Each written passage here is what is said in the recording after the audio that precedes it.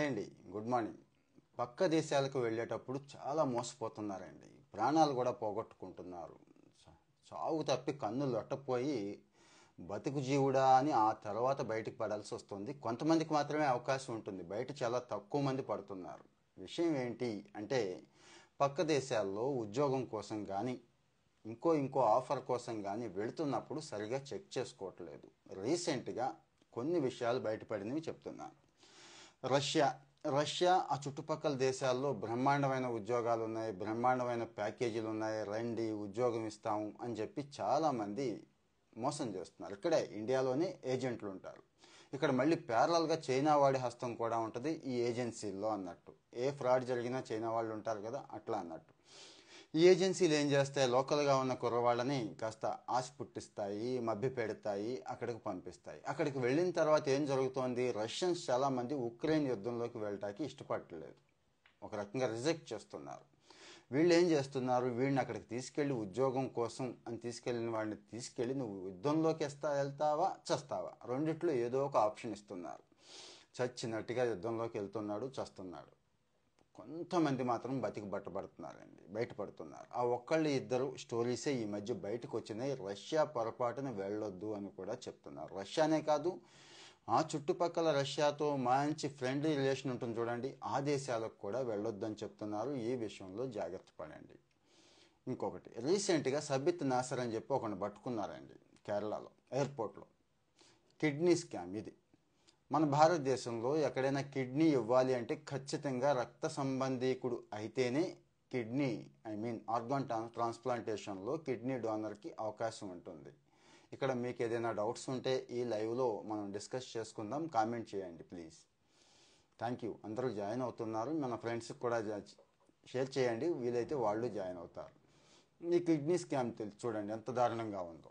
ఈ బయట దేశాల్లో కొన్ని దేశాల్లో ఎవరైతే రక్త సంబంధికులు ఉన్నారని ఇండియాలో రూల్ ఉందో ఆ రూల్ లేదండి. ఎవరైనా ఇవ్వచ్చు ఎవరైనా పుచ్చుకోవచ్చు. అంటే ఆ దేశంలోనే కాదు పక్క దేశాలు కానీ ప్రపంచంలో ఏ మనిషి ఇచ్చినా కిడ్నీ తీసుకుంటారు కిడ్నీ వేస్తారు. అంటే ఈరోజు కిడ్నీ కేసులు చాలా ఎక్కువైపోతున్నాయి కాబట్టి చెప్తున్నా. ఒక ఇండియాలోనే కాదు బయట కూడా పరిస్థితి అలాగే ఉంది. కిడ్నీ ఫెయిల్యూర్స్ ఎక్కువ ఉంటున్నాయి అంటే లైఫ్ స్టైల్ కావచ్చు తినే తిండి కావచ్చు ఇక అన్ని కారణం అవుతున్నాయి ఇక్కడ ఏంటి విషయం అంటే మన దేశంలో మీకు తెలిసిందే కదా ఇక్కడ ప్రాణాలకు పెద్దగా విలువ ఉండదు మనుషులకు కూడా విలువ ఉండదు పది పాతిక లక్షలకు మనుషులను అమ్మేసే వాళ్ళే ఉన్నారు. ఆ పరిస్థితి ఉన్న ఈ దేశంలో కిడ్నీ బిజినెస్ బాగుంటుంది అని చెప్పి కొంతమంది డాక్టర్స్ అండి స్వయంగా డాక్టర్సే ఈ పని చేస్తున్నారు. అలవాటు పడ్డారు. ఎలా అంటారా? ఇరాన్ ఉంది ఈరోజు ఫర్ ఎగ్జాంపుల్. రీసెంట్గా స్కామ్ బయటపడిన దేశం ఒకటే చెప్తున్నాను. ఒక ఇరాన్ గురించే నేను మాట్లాడుతున్నాను బయటకు వచ్చింది కాబట్టి రానివెన్నో.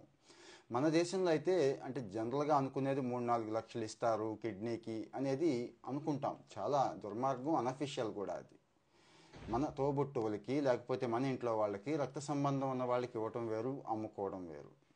ఇక్కడ ఏం జరుగుతుందంటే కుర్రాళ్ళని ఆశ పెడుతున్నారు ఏదో డబ్బు అవసరం ఉంటుంది చాలామంది చాలా అవసరాలు ఉంటాయి కదా. ఆశపడిన వాడు అక్కడికి వెళుతున్నాడు. వెళ్ళి అక్కడ కిడ్నీ ఇవ్వటం కోసమే వెళుతున్నాడు కానీ చాలా రేర్ కేసుల్లో కిడ్నీ తీసుకోవడం కొన్నాళ్ళు ఒక రెండు మూడు నెలలు అక్కడ ఏదైనా అపార్ట్మెంట్లో ఫ్లాట్లో ఉంచి తగ్గిన తర్వాత పంపించడం జరుగుతోంది. కానీ అక్కడ జరగాల్సిన మోసం అంతా జరిగిపోతుంది. ఇరవై పాతిక లక్షలు ఇస్తామని చెప్తాడు. చివరికి చేతిలో నాలుగైదు లక్షలు పెడుతున్నాడు.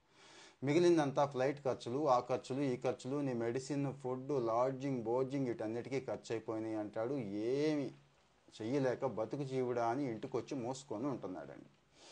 రీసెంట్గా బయటపడిన స్కామ్లో ఒక కుర్రాడు చనిపోయాడు. ఇరాన్లోనే చనిపోయాడండి. చనిపోతే ఇన్వెస్టిగేషన్లో ఈ దారుణమైన విషయాలన్నీ తెలిసినాయి. అంటే ఈ కిడ్నీ స్కామ్ ఇలా జరుగుతోంది?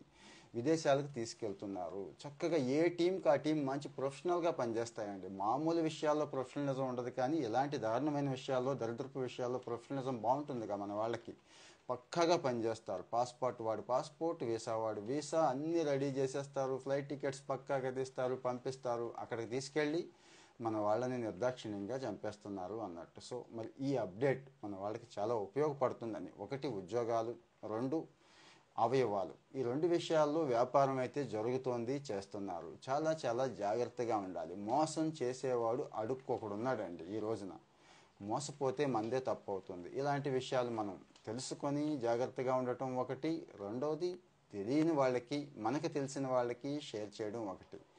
మీ కామెంట్స్ ఏమైనా ఉంటే ఇక్కడ పోస్ట్ చేయండి. ఆ విషయాల గురించి మళ్ళీ నెక్స్ట్ ఎపిసోడ్లో మళ్ళీ మాట్లాడుకుందాం. మరి జాగ్రత్తగా ఉంటారు కదా.